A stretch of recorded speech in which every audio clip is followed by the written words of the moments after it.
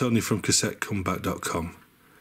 Now in today's video I'm going to be looking at yet another rare and expensive cassette, but it's a cassette that gives me a lot of hope for compact cassettes because of two words. What cassette is this? It's this, a National, i.e. Matsushita, Angrom cassette. But I've seen this tape technology in other tapes. And what are these two words? It's these. Metal evaporated. What does that mean? And why is it so special? Let's have a little bit of a learning session. So, what kind of cassettes am I talking about? Well, in this case, it's camcorder cassettes. Now, back in the early 90s, my pride and joy, well, it wasn't mine, I stole it from my dad, but I thought it was mine anyway, was my Sony TR80 Hi8 camcorder. Now, when I was buying cassettes for this, I had basically two choices above length. I could buy MP cassettes or ME cassettes, and the difference is metal particle and metal evaporated, and the metal evaporated were thought to be better and they cost more. So, what's the difference? Basically, metal evaporated tape whose magnetic material is applied to the base film in a vacuum chamber. So, if you think about how most cassettes have their actual magnetic pro- property put onto the base substrate, it's usually like on a like a big press where basically it's poured onto it and it's sort of baked onto it. But in this case, ME tape was done in a vacuum chamber. This gives a much higher signal off the tape, but the coating is incredibly thin, around a quarter of a micron, and therefore much more susceptible to damage than metal particle tapes. Think of a car finish that is extremely thin and incredibly smooth, but not very durable. In situations where there's a lot of shuttling and editing, ME tapes could be problematic. A metal particle tape is much more durable, think of a painted wall as opposed to a car finish, by a margin of 3 to 1 over metal evaporated tapes. So what it's saying is it's a different process that makes a much smoother tape but it's a much thinner coating. It performs better but it's not as tough. So that could be part of the reason why these ME tapes were a lot more expensive because it's a more expensive process and plus it's a specialized process that not everyone had. But here's the thing that gives me hope about ME tapes and it's this. Many high-end data tapes use the ME metal evaporated technology VXA2, AIT2, AIT3 data as well as several high-end Sony 8mm video cassettes which we've just shown. The thing is, there are a lot of data tapes out there that are still being made, and they're based on metal evaporated technology. So, in theory, if we think about it, right, a superferric Type 1 is a ferro cobalt tape that has the bias and EQ adjusted so that it works well at Type 1 settings. Whereas stuff like an SA is a ferro cobalt Type 2, whose bias and EQ is so done so that it will work at Type 2 settings. So, technically, if they could, since they're still making lots and lots of data tapes, if they could tweak the formula, they already have the process for making it, they could tweak the formula and make metal evaporated tapes that would work at Type 1, Type 2, and Type 4 bias. Indeed, Matsushita did this beforehand because if we look here, this is a variant I'm looking at today. This is branded National, this is a Type 1.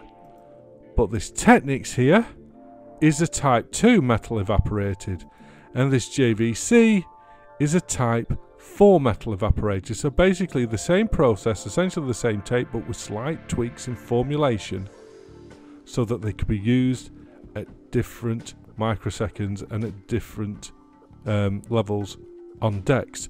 So if you think about it, it could give a bit of hope here because if they could do this then, and the only difference between these three tapes is how the tape formulation is done for the different bias types, then maybe, just maybe, they could do the same with all this data tape if there is enough demand, rather than trying to make all Type 2 and Type 4 again from scratch. But of course, this only works if the tape's any good. So let's find out. So there we go. Back in the early 80s, Matsushita were making a tape technology which is still in use now. They were making compact cassettes using this technology. Now, before I continue with this, I need to yet again give another shout out to a friend of mine.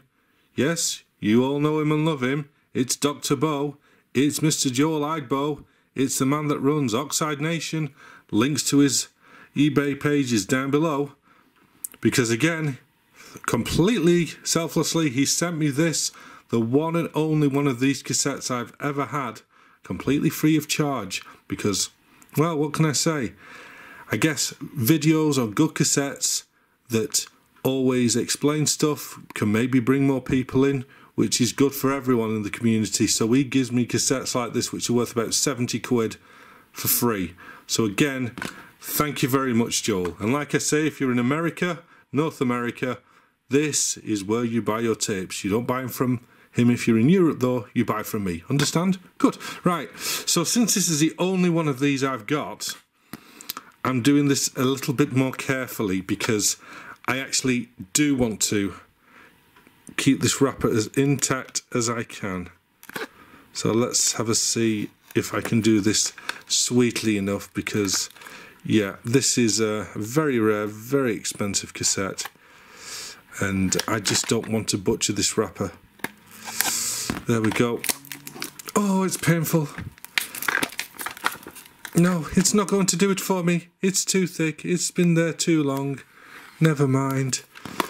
One way or another, we've got most of it. So let's have a look at this cassette.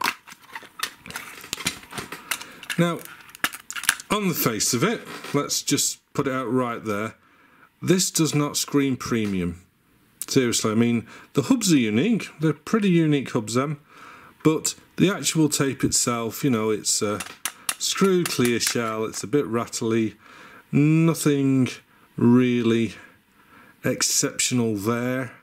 Um, you know, the sticker's nice enough, it's a, a steely sticker. What else do we get? We get mm, we get some very plain and boring looking stickers for it. Let's have a look at the old J card.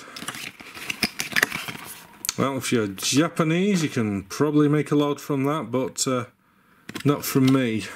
So, because these were the metal evaporated tape, and they used this process, which was also being used for, like I say, at that time, maybe camcorder tapes, professional video tapes, these cost more.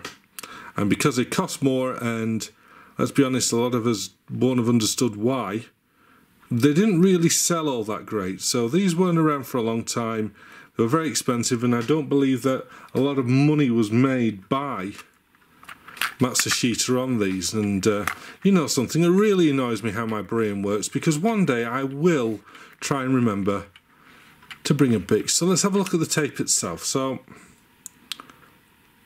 yes, this this this doesn't look very brown. This is very dark grey, but it's it's very smooth, very shiny. So yeah.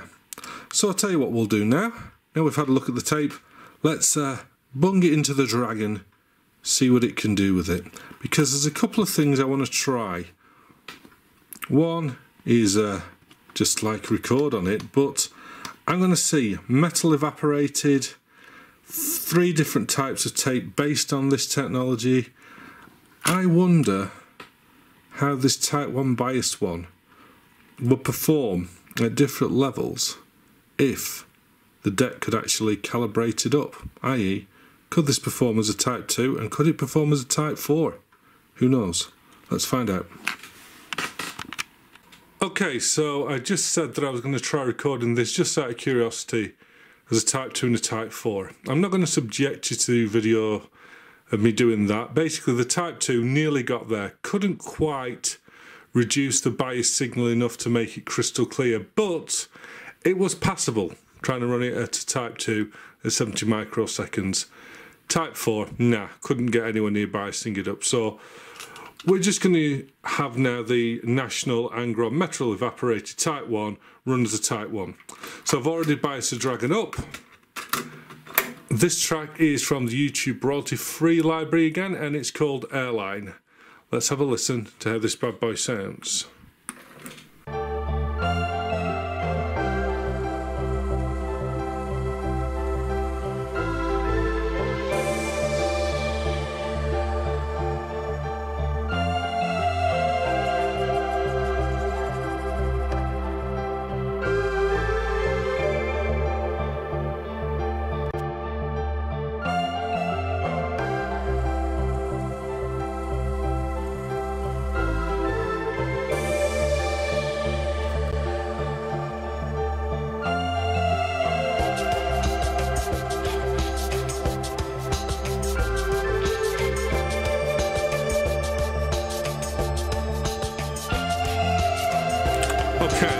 This up now. Let's run the super ferric level.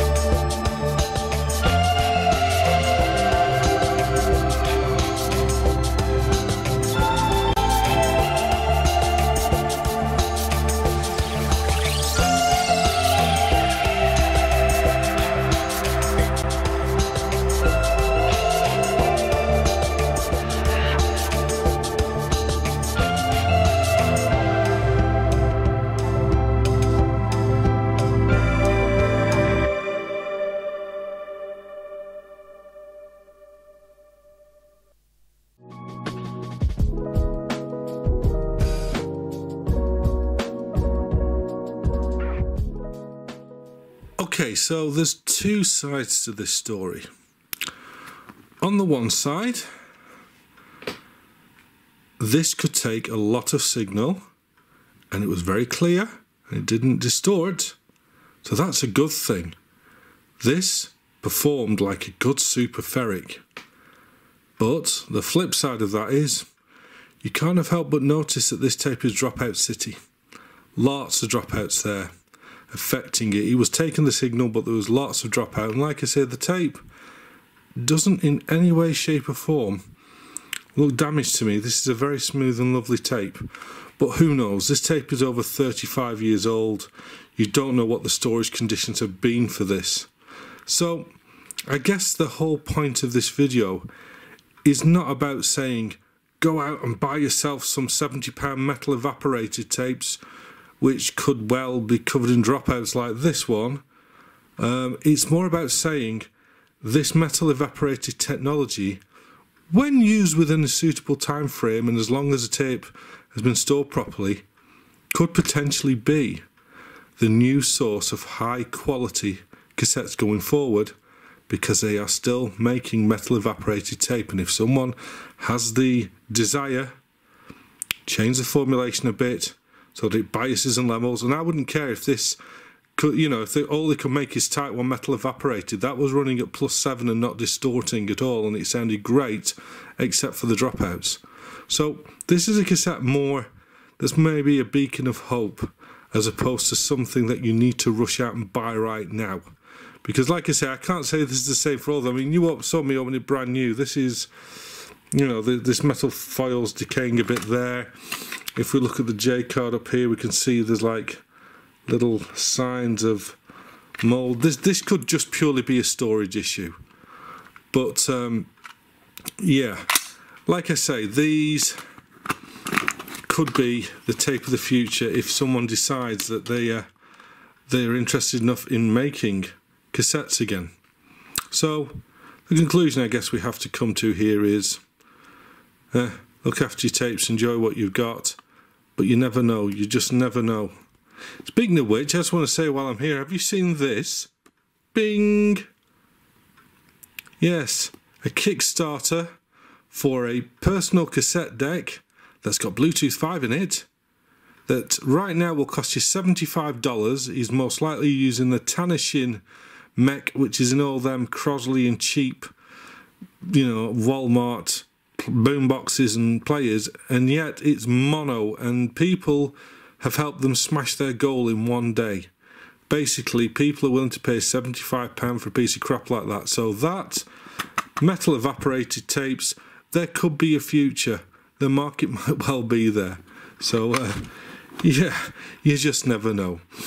And before I go, just another little thing here. If you're actually curious to see what the man behind the voice looks like, one of my previous uh, enterprises, inverted commas, was I used to design and make watches. And I got interviewed by a very well respected uh, watch brand owner on this video here. Bing! Where I talk about the success and failure of my watch brand. So if you fancy seeing what I actually look like, and once you've seen the video, you'll understand why I stay behind the camera, you can do so there. The other thing I'd like to uh, advertise, so to speak, is this. Bing! Yes, I used to do a radio show and then for some reasons I had to give it up, but now I'm going to be back soon. So, from Sunday the 14th of July, 12 till 2 on UK time, and broadcast all over the internet. You can get the apps for the station or you can just log in straight on the websites. You're going to get the Retro Nouveau, which is my show where I mix a collection of classic tunes and cutting edge brand new tunes. So you never know. Listen in. There's more good music out there than there ever has been at any other time in history, as far as I'm concerned. And I'm going to show you some of them. So if you want to listen in, do so. Hey, you can even tweet me and text me, and I might play you a request. So, okay, for now, please like and subscribe. Thank you very much for your time. Happy taping. Bye bye.